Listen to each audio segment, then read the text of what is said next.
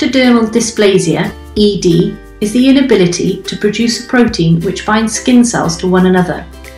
Affected dogs have pale, almost translucent skin on the ears, nose, mouth, and feet. Signs are seen from birth and there is no treatment. Affected dogs generally die within hours or at a very early age. Mode of inheritance is autosomal recessive, and the breeds affected are the Chesapeake Bay Retriever and any of the mixed breeds. To learn more about health genetics and screening, download our PDF available from puppyclassroom.com or email handouts at puppyclassroom.com.